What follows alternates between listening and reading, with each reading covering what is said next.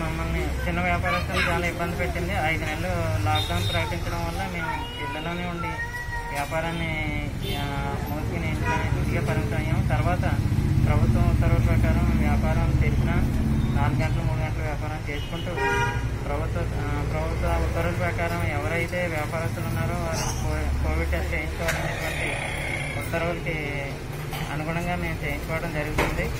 ఎవరైతే చేయించుకుంటున్నారో వారికి ఆ, పాజిటివ్ వచ్చిన ఒకటి రెండు వర్కర్స్ ఉంటారు. వారి వల్ల మిగతా వ్యాపారస్తులు అంతా ఇబ్బంది పడుతున్నారు.